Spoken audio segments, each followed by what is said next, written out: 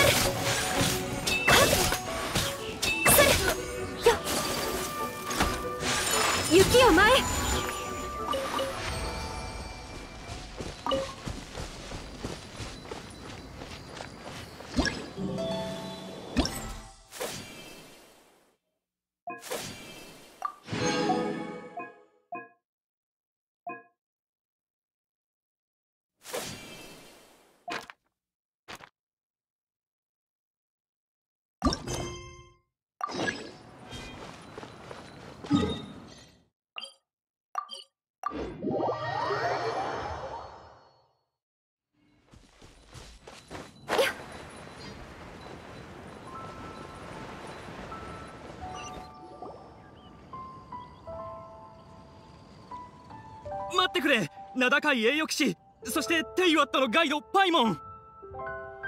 どうか手を貸してくれないか。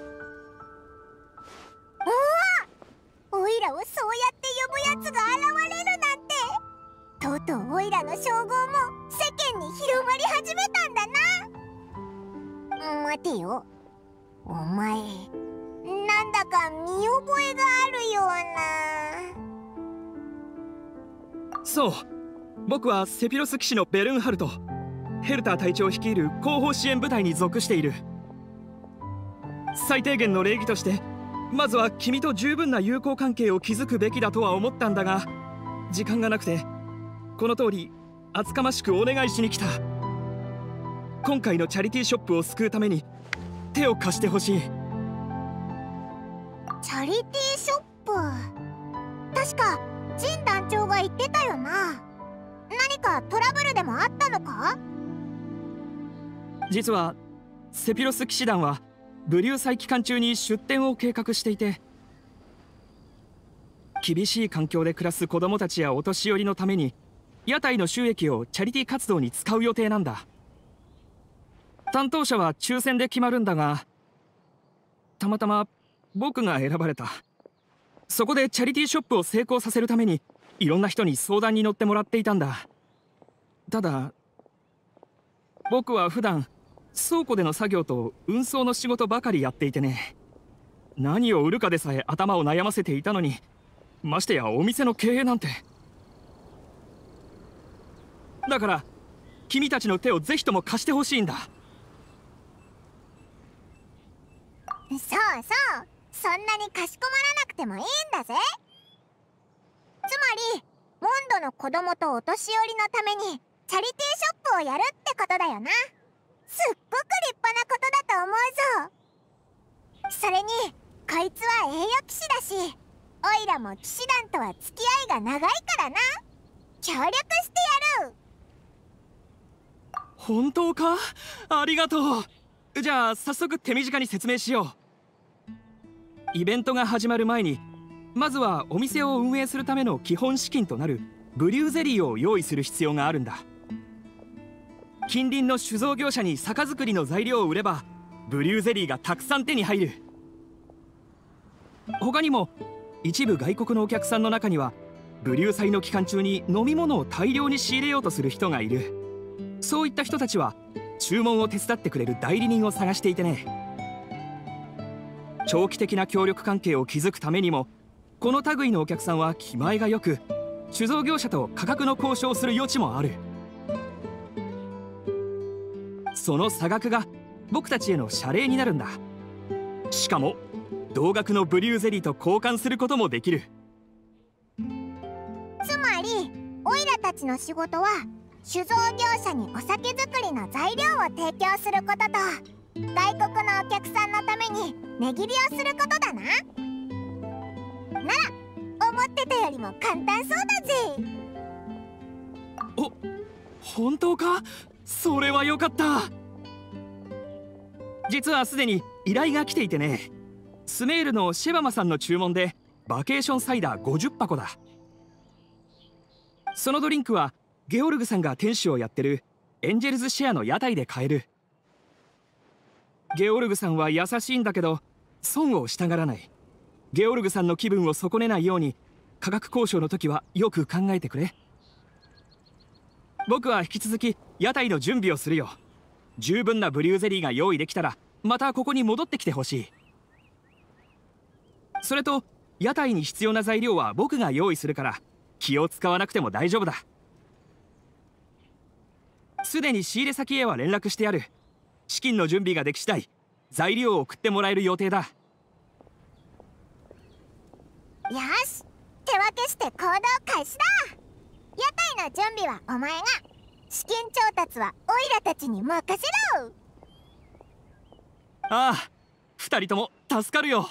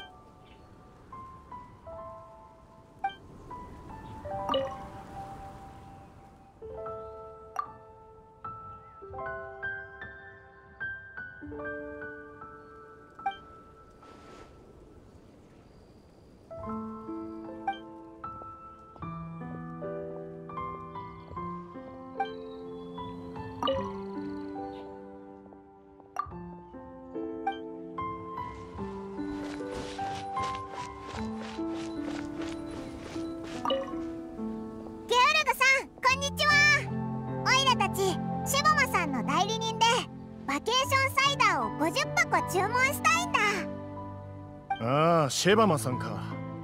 うちの常連客だな。注文の数はいつもと同じようだが。担当直入に行こう。今年はいくら出すつもりだ？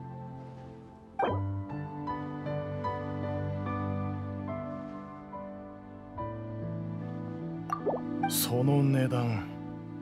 少しばかり厳しいが窮地の中ということで飲んでやろう。いつも通り直接シェバマさんの店に届くよう手配する。安心しな。この領収書は忘れず保管しておけ。よし。資金調達を続けようぜ。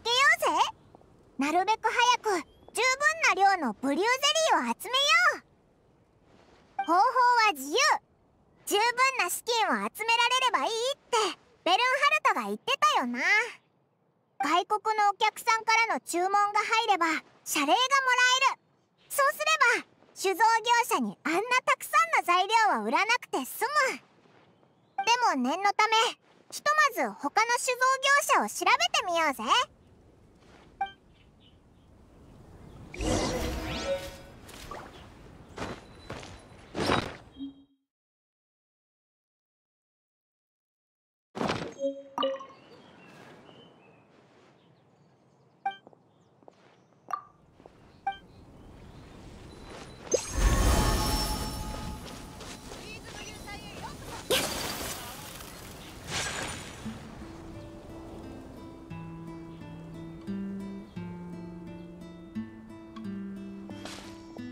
旅人パイモンここにいたんだね。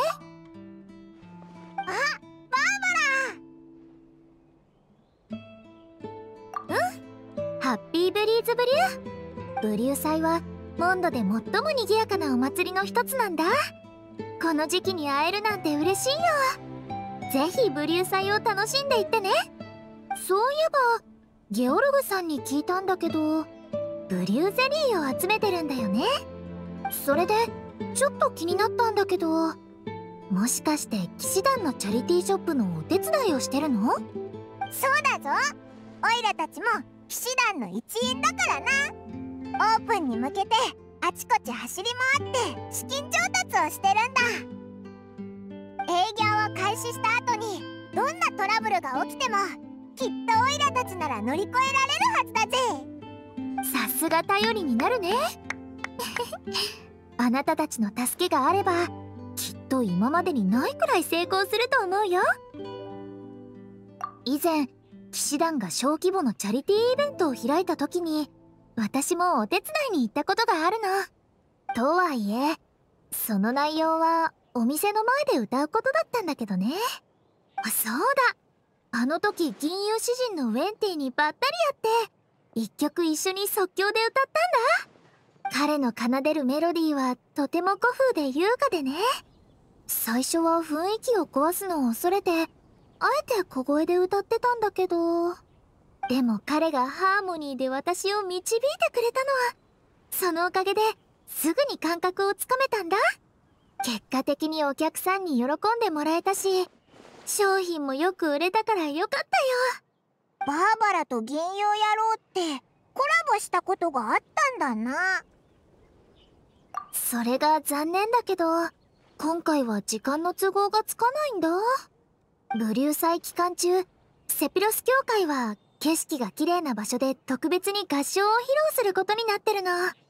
私もリハーサルに参加する必要があって。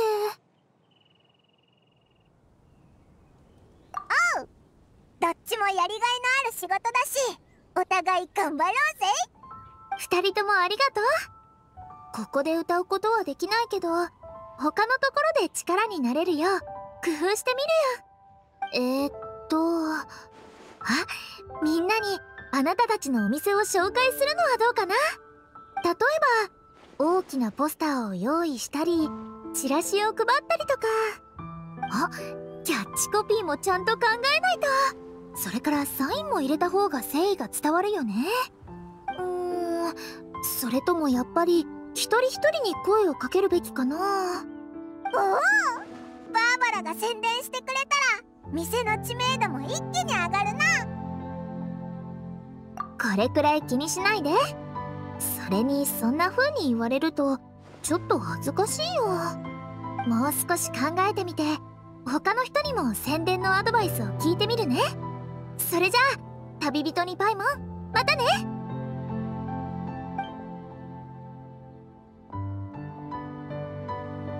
その騎士団と教会のみんなもきっとあなたたちのことを誇りに思ってるはずだよ。おう一緒に頑張ろうな。これでさらにやる気が出てきたぜ。オイラたちももっと頑張らなきゃな。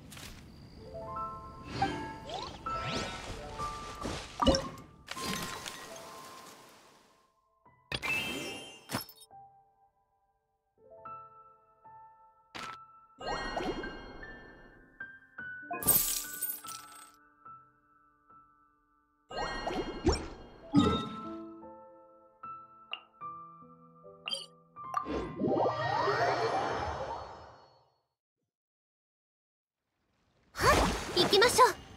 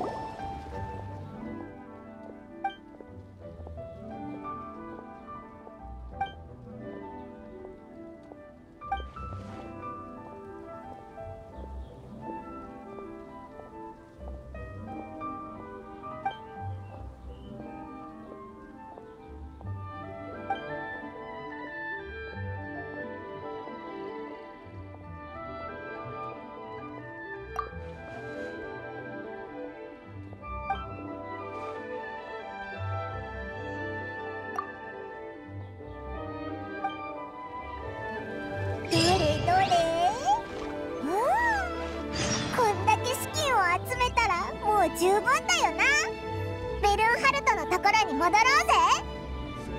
ベルン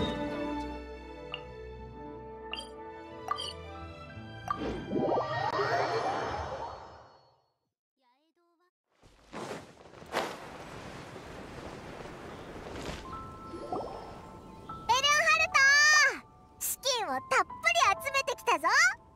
もう終わったのか？なんという手腕だ。よし。僕の方も仕入れ先との商談が終わったところだ。少し待っててくれ。どうだ？いい感じだろ？もし何か他にも案があったらいつでも店の装飾を変えてくれて構わないよ。おおいい感じの立派なお店だな。よしおいらが店の名前をつけてやるぞ。そうだな。セピロスザーザーショップにしよう。それって褒め言葉だよな。ベルンハルト他にオイラたちにできることはあるか？資金調達は大変な仕事だしきっと疲れてるだろ？細かな雑務は全部僕に任せてくれ。代わりに君たちはその幅広い知識を使って経営方針や営業方法サービスの特徴や品質管理などを考えてほしい。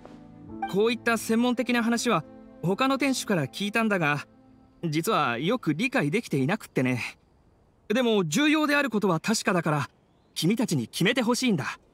つまりオイラたちが店主としてお店の戦略を立ててお前が店員として具体的な仕事を担当するってことか？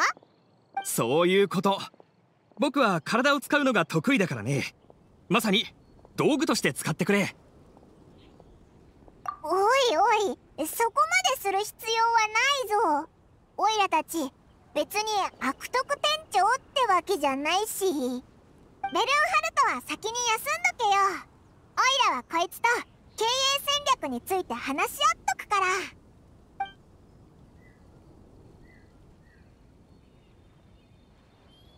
よし。要点ははっきりしてるな。目標はェア最高の料理店だ。さあベストな状態で最初のお客さんを迎えるぞ。旅人とパイモンまさかこんなところで会うとは思いませんでした。モナとフィッシュルじゃないか。お前たちもフェアに遊びに来てたんだな。命名のうちに覚えた予感によりメギストス教を連れて凡族の仮説を視察しに来た甲斐があったわ。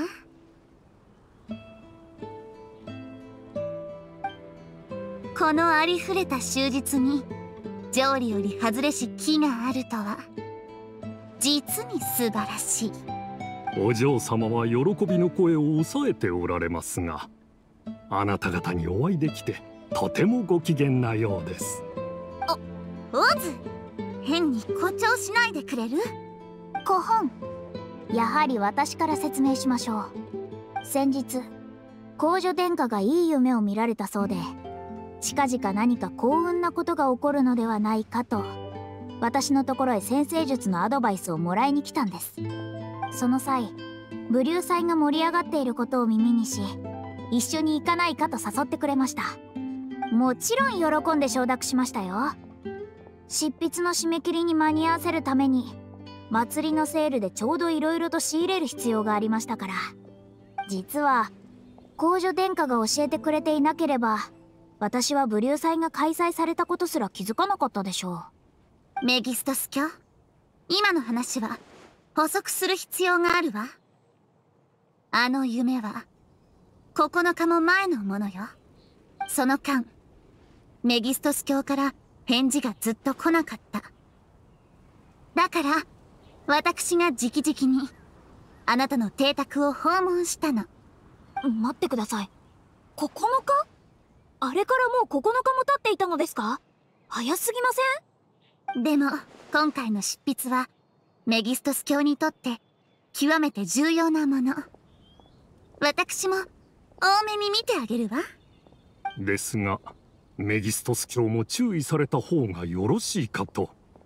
郵便箱がびっしりと詰まっていたら音信不通になっていると勘違いされる方も少なくありませんので。モナは学問の研究に没頭するあまり時間も人に返事するのもそれからこんな盛大なお祭りがあることも忘れちゃってたんだな。ととにかく時間がありません早く必要なものを買いに行かないと。そういえばあなたが自分の店を開いているとは思いませんでした。しかも私が一番注目している料理店だなんて。実は人に頼まれてな。オイラたちのお店をよろしく頼むぜ。そうですね。おすすめのそのおつまみはありますか？もちろんいっぱいあるぞ。えー、っとメニューにはん待てよ。おつまみ？まさか執筆がうまくいかないからってお酒でも飲み始めたのか？そういえばお嬢様がよく訪問されていたのでそのせいでかなり遅れが出ているのかもしれません。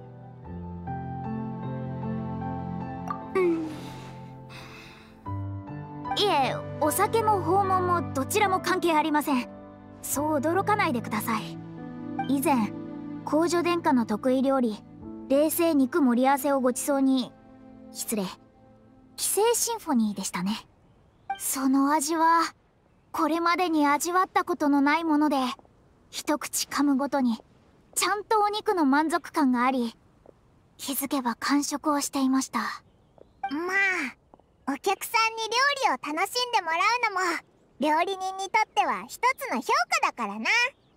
冷製肉盛り合わせは本当に素晴らしいものです。エネルギーの補給ができ長期保存も可能。一般的にはおつまみとして食べられるものなんですよね。価格を除けば他の全ての面において満足サラダに勝っています。しかし考えてみてください。ブリュー祭はお酒をテーマとしたもの。つまりおつまみを割引価格で買うことができるはずです。まさにこれは天が与えし贈り物。しっかりと手にしないといけません。歓喜の声を上げなさい。メギストス卿あれは私が旅の合間に思いついた作品に過ぎない。極上の料理を堪能する機会はまだまだあるわ。まだ本領を発揮していないとお嬢様はおっしゃっています。ええ分かっています。公女殿下の腕前はあの時の料理をはるかに超えているものでした。ただ進化の私が公女殿下に料理を頼むなんて。いやつまり家に来た客人に料理をお願いするなんてこと。せめてサラダ以外の品を用意できればお口に合うものを出せたかもしれません。え？モナはそんな風に思ってたの？こういう時は先を読んでいたとか対局を見据えていたとおっしゃった方がお嬢様にお似合いかと。その通りよメギストス卿私が認めたものとしてあなたは星空の秘密を知り尽くしているはず。私を喜ばせる必要はないわ。別にいつもこんなに忙しくしているわけではないんです。それに時間の余裕がある時に他の分野を学ぶのは何も大変なことではありませんので。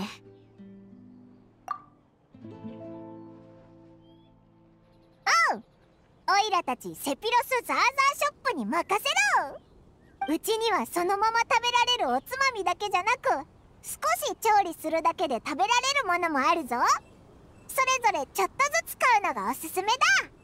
ちなみに少し調理するだけで食べられる方は失敗しにくいし作るのもすぐ慣れるはずだ。難しい料理は忙しくない時にでも挑戦すればいいと思うぜ。もちろんモナの家に行って教えてやってもいいぞ。旅人は料理がうまいからな。ああそれはいいアイデアですね。これなら多少値が張ろうとも構いません。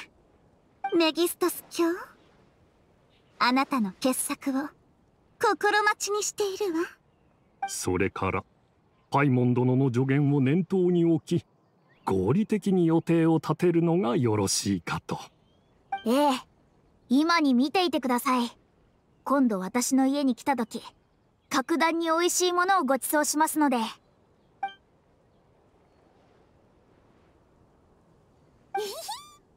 セピロスザーザーショップの初収益だ。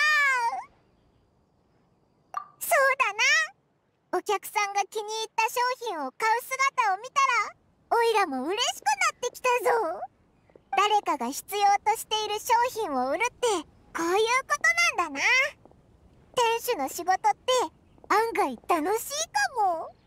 よーしこの調子で店の名を轟かせてやろうぜ。